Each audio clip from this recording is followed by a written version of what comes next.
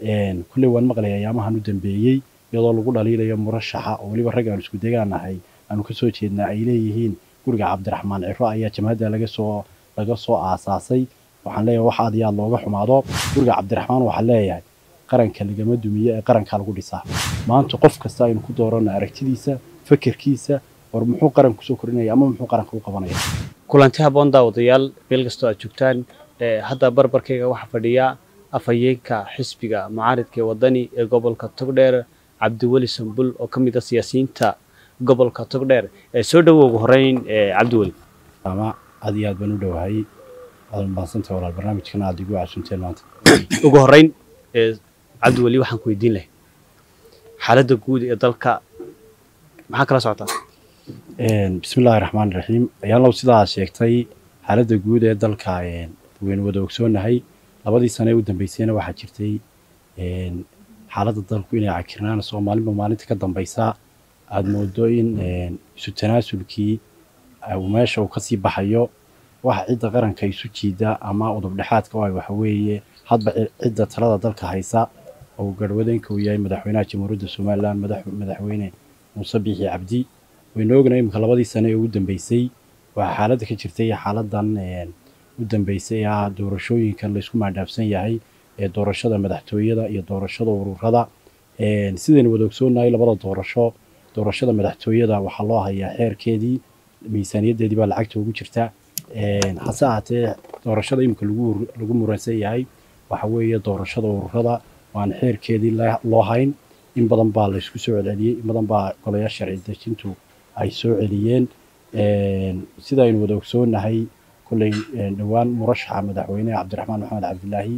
Wuxuu maray gobollada dalka oo dhan wuxuu soo ururiyey xog ururin.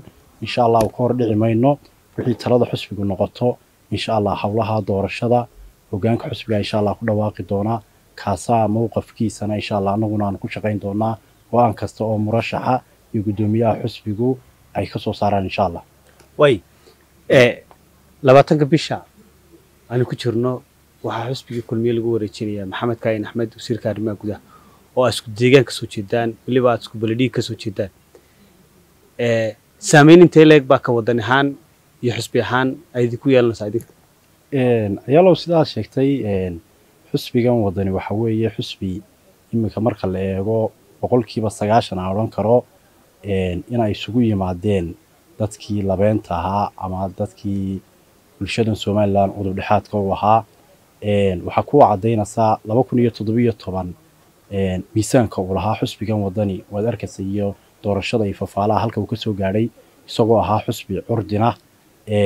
Doorashadii u dambeysay golayaashii deegaanka iyo baarlamaanka waxaa la odhan karaa boqolkiiba toddobaatan in ku dhow ayuu hanashay codkii dalka ama mayrada dalka ha ama xildhibaanadii ugu badneeye ha sida aynu wada ogsoonahay maanta doorashaa la filaya insha allahu inay dalka ka dhacdo haddii saamilada ku heshiiyaan ama doorasho ururay noqon ama doorasho madaxtooye noqon. Insha allahu haddaan su'aashaada u soo jeesto wayna ogsoonahay maanta waxaynu joognaa gobolkii togdheer. Gobolka togdheer wuxuu ahaa meelaha wuudaa ee xusbiga kulmiya ee maanta talada dalka hayaa dee uu ku xisaabtamo. Maanta xusbiguna waynu ognoo laba masalo midunbuu ku guulaystaa waxqabad iyo kasbasho horumarineed oo ummadda ku kasbado qodobka labaad ee ku kasbadaana waxa weeye hadba sida ummadda uu soo kasbado iyo bulshada meeshaa joogta. Labadaa haddaan kala qaado su'aasha koowaad aan u soo noqdo waxa weeye maanta gobolkii togdheer waynu ognahay baahiyo badan baa ka muuqda. Ballanqaadkii uu sameeyey xusbiga kulmiya laba kun iyo toddobiyo toban ee uu ku galay ololihii laba kun iyo toddobiyo toban. Waxaa laga yaabaa boqolkiiba sideetan inaan waxba boqolkiiba sideetan inaan waxba ka hergelin waayo waxaa ku caddaynaysaa waddadii isku xidhaysay oodweyne tubruco waddadii isku xidhaysay qorlugud ilaa buuhoodle waddadii isku xidhaysay qoryaale ilaa beridhiig waxayd ballanqaadadii xusbiga kulmiye uu ballanqaaday wax allaaliya wax ka qabsoomayna ma jiraan. Magaalada gudaheeda haddaynu u soo noqonno burco gudaheeda waynu aragnaa xaruntii guud ee lagaga dhawaaqay somalilan oo maanta mudnayd in wax laga qabto. Tiyatarkii guud ee magaalada burco waynu aragnaa bridgekii muhiimka ee madaxweynuhu dhagax dhigay isku xidhaya xaafadda balaasa iyo octoobar waynu aragnaa inuu qabyo yahay. Waxay ku tusinaysaa uun in maalinba inta meel dhagax la dhigay ama ballanqaad la madaxweynuhu uu ballan qaaday inaan wax allaaliya wax ka qabsoomay aanay jirin.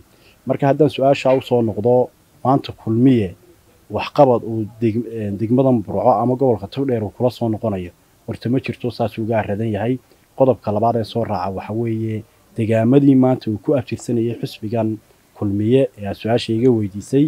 Haddaan in yar ka eego dee xusbi reerku hortaa dee in badanoo imika laba sano ku dhowba muu xusbi la-ayn oo horta xusbigan aan ka tirsanahay ayaa laba sano kahor lagu wareejiyey. Maanta baahi xusbi horta reerku ma qabo. Taa haddaan eego su'aashaada aan u soo leexdana. Dee maanta waxaan filayaa ragga maanta jooga ama ragga isbedelaya berrito kale lagu maalin lagu wareejinayo waa raggii maanta talada dalka jooga uun wax allaaliya wax saameyno ay soo kordhinaysaa waxaan u arkaa inayna jirin. Tusaale kooban haddaan kuu soo qaato bishii koowaad sanadkan waxaa halkan maray laba wafdi oo oo heer qarana oo wafdi uu hogaaminayo gudoomiye ku-xigeenka xusbiga kulmiye maxamed kaayin axmed iyo wafdi uu hogaaminayo murashaxa madaxweyne cabdiraxmaan maxamed cabdilaahi iyo gudoomiyaha xusbiga wadane xirsi cali xaaji xasan gobolka togdheer oo dhan bay mareen. Deegaamada hoos yimaado o dhan bay mareen. Waxay ku tusinaysay maalinba deegaanka ay tagaan sida looga soo dhaweynayay fafaalaha anigu degmada beledhiig ee xaaji xasan geelle ee aan ka soo jeedo waxaan u tegey sidii aan murashaxayga loogu soo dhaweyn lahaa. Dadka deegaanku maanta isbeddelka ila dareemi lahaayeen. Wafdidaa kale ee xukuumadda iyo xusbi xaqikaa ka tirsanay way naga horreysay. Waxaan filayaa inaan laba boqol qof wax dhaama inayna u soo bixin waxay ku tusinaysaa maanta degmada beledhiig waxay udubdhexaad u ahayd xusbiga kulmiye marka laga yimaado gobolka togdheer oo dhan waxay ahayd degmada uu ka soo unkamo. Maanta halka ay ka joogto xusbigii kulmiyena waxaa kuu cadaynaysaa maanta dee waxaa kuu cadaynaysaa safarkaa u dambeeyey ee golaha wasiiradii iyo ragga xusbi xaaga ka tirsan ay joogaan. Anigu xusbiga wadani baan gogol xaad u siihaa murashaxa iyo guddoomiyaha dee waxaan u malaynayaa boqolkiiba siddeetan dadka deegaanka soo dhaweyntaa looma kala hadhin laba kun oo qof inka badan baa u soo baxay. Si melgelo oo sharaf leh oo qiimale ayaa loogu soo dhaweeyey. Aad iyo aad baan ugu mahad celinayaa bulshada dadka degmada beledhiig waan ku matalo xusbiga wadani. Waayo baahideedaan ogahay degmada. Labaatankii sane u dambeeyey waxbaan ku soo bartay. Ganacsiyaan ku soo sameeyey. Maalin kasta ama xusbigan wadani aan joogo ama intii ka horse aan joogay dadka mar kasta u hadla ee baahiyaadka jira ka hadlaan ahaa intii aan joogay waan ka shaqayn jiray si voluntary aan uga shaqayn jiray. Ama ha ahaato horumarinta sida dhalinyarada waxbarashadoo kale xilliyada qaar waxaan samayn jirnay inaanu gruubo ama urura samayno si voluntarya degmada uga uga howlgala oo urur laydhaha urur tisqaad foundation oo anigii rag kaloo dhalinyaro aanu asaasnay weli wuuna shaqeeya degmadan uu ka shaqeeyaa waana urur si voluntarya degmada wax ugu celiya. Marka insha allah ayaalo waxaan filayaa. Maanta su'aasha aada weydiisay xusbigaa maanta wax degmadaa u yaallaa inaanay jirin iyo gobolka togdheerba wasiirka arrimaha guduhu waxa uu dhowr jeer murashaxa xisbigiina ku eedeeyey arrimo ka soo horjeeda qarannimada somalilan. Inuu sidoo kale inuu dhaho waxweeyaan murashaxu waxa uu somalilan soo geliyey ciidan sidoo kale inuu dhaho xisbiga wadani waxa uu qayb ka yahay jabhadda gacan libaax. Adigu saad aragtaa ayaala waa su'aal aad iyo aad u fiican. Sanad ka hor xiliyadii halkan lagu qabanayey mudaharaadadii salmiga ahaa sanad ka hor halkan dadku ay ku dhinteen burco ceerigaabo hargeysa. Waxaan ahaa dhalinyaradii halkan gobolka hormuudka u ahaa ee abaabulayay sidii loo heli lahaa in dadku ay cabiraan aragtidooda ama afkaartooda inay doorasho doon yihiin. Nasiib darro waynu ogeyn dad badan baa ku dhintay waa laga baaqsan karayey sanadka hadalkaa hadal ka horreeyey oo ay qoladaa xukuumaddu jeedisay way jireen oo murashaxa lagu eedeeyey inuu ciidamo keenay dalka. Sanadka bacdi maanta waynu aragnaa waxa dhacay. Marka koobaad intaana su'aashaadaa gelin waxaan tacsi u dirayaa ciidamada qaranka ee maalintii dhaweyto halkaa ku naf waayey waanu ka xunnahay xusbi ahaan waana ka tacsiyadeena qoysaskii iyo ehelkii iyo qaraabadii ay ka baxeen xusbiga wadani markasta wuxuu u taagay maadii u taagay waxa weeye horumarinta iyo isku haynta dalka iyo dadka. Bulshada somalilan inay ka wada dhex muuqato inay afkaarteeda ka dhibato inay taladeeda ka dhibato waxaad qul oo aad ku taamilo qaadaysaa maanta xusbiga wadani laba qodob. Qodobka koobaad waxa weeye maanta markaad eegto hoggaankiisa iyo siduu u dhisan yahay boqolkiiba siddeetan waxaad odhan kartaa waa dhalinyaro waa meel loo siman yahay waa meel qofku afkaartiisa ku cabiri karo fekerkiisa ku soo gudbin karo waxaa tusaale kuugu filan maalintii dhawada murashaxu yimi. Waxa qura u yimi waxay ahayd ragga xusbiyahankaa iyo dhalinyarada gobolka ee xusbiga taageerta inuu inuu afkaartooda ka qaado oo talada dalka iyo halka ay masiirka maanta qaranku marayo. Lagu sargooyo oo dhalinyaradu fekerkeeda ay ka dhibato. Su'aashaada haddaan u soo leexdo kulley waan maqlay ayaamahan u dambeeyey iyadoo lagu dhaliilayo murashaxa oo weliba rag aan isku degaanahay aanu ka soo jeednaa ay leeyihiin guriga cabdiraxmaan ciro ayaa jamhadda laga soo laga soo aasaasay. Waxaan leeyahay wax aad iyo aad looga xumaado. Sida ragga maanta cabdiraxmaan ku dhaliilayaa in gurigiisa jabhadda laga soo abaabulay ayaan anigu guriga cabdiraxmaan ugu warhayaa iyaguna ay guriga muuse ugu warhayaan. Guriga cabdiraxmaan waxaa leeyahay qaranka lagama dumiyo ee qarankaa lagu dhisaa waayo ragga maanta halkaa ka hadlaya ama talada dalka haya ama xusbiga aanu iska soo horjeedno. Laba kun iyo toddobiyo toban baanu soo wada shaqaynay. Raggii u hirdamayey sidii ay kursiga ugu guulaysan lahaye baan ahaa. Nin kastaaba wuxuu gooyo iyo wuxuu galo nin garanayaan ahay.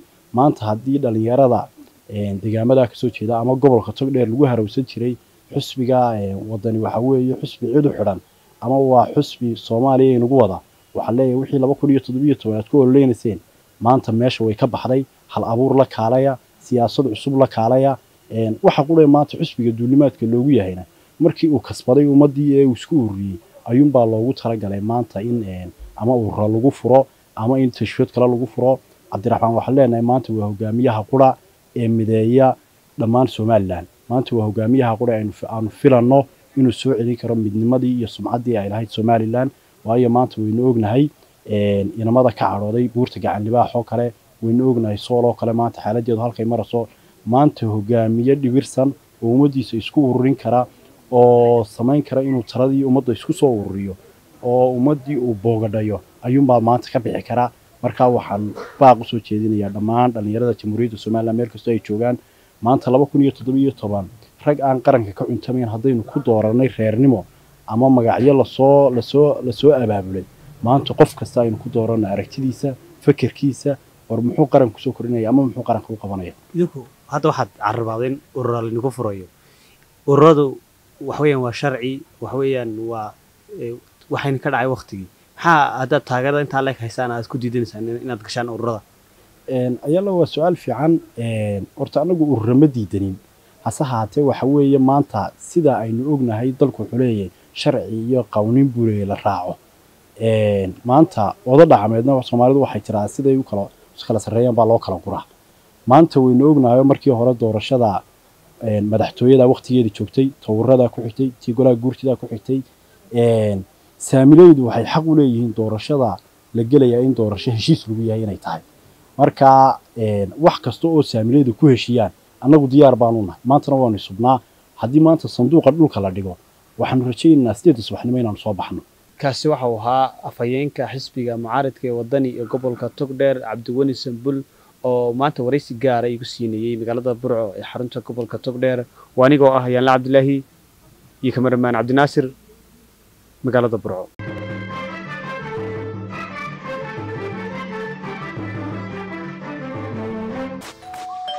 Maasha allah soo dhowaada. La jaanqaad shirkadda telesom. Maxmil waxay kuu diyaarisay adeegga internetka ay faibar optiga kaasoo xawaarihiisu kala go' lahayn. Waa guji waa ishaa biligteeda intuu soo gudlanayo hadalba gam hagarle ii ku isticmaal soshiyal miidiyaha kuna daawo wararka cayaaraha iyo onlaine geemiska haddaba maxmil soo gasho gurigaaga xafiiskaaga iyo goobtaada shaqo fadlan nagala soo xidhiidh nambarka gaaban